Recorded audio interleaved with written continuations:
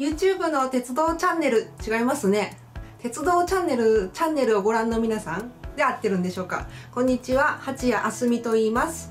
えっといきなり出てきてお前何者やって言われると怖いんで自己紹介を最初にさせていただきます。私は普段ですね、えっと、鉄道ですとか旅関係の執筆を主にしていまして鉄道チャンネルというとこでは LINE ライブでしゃべ鉄気分っていうのをですねえっとしげちゃんと半蔵門っていう謎の人たちといつも行ってまして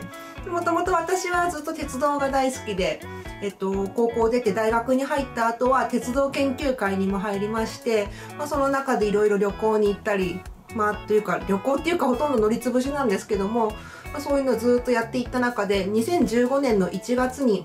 JR を全線環状しまして、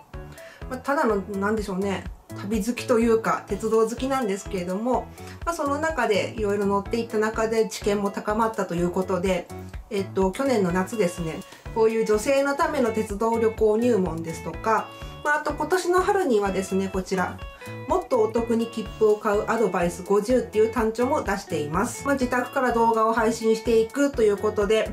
進めていきたいんですけれども多分皆さん横にいるこれが気になってるかもしれないんですね。でこれは何かというと JR 西日本のキャラクターで鴨の橋のいこちゃんと言いまして、まあ、私自身今ずっと川崎には住んでるんですけれどもこの鉄道系のキャラクターとしてはいこちゃんが一番お気に入りでめっちゃグッズとかも収集してます。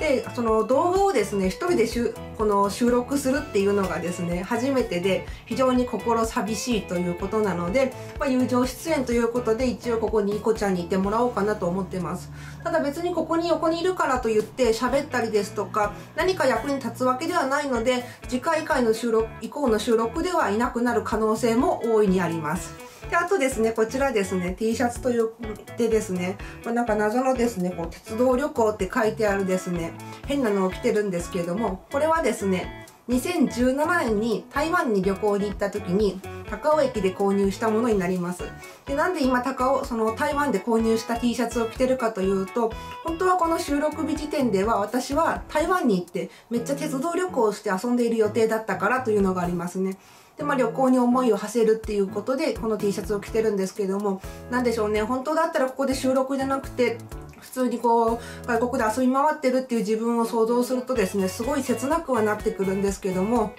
何でしょうね。まあ切符の払い戻し航空券の払い戻しっていうのはですねもうなんか二度とやりたくないなとそういう悲しいことを今思い返しています。で、まあ、せっかく初めての収録なので何か面白い話できたらと思うんですけれども、まあ、私はですねおおむね家で時刻表を読んでることが多いかなと思います。例えばですねまあ、毎年時刻毎月時刻表っていうのは新しいのが出るんですけれどもこれですね。普段自分が使っている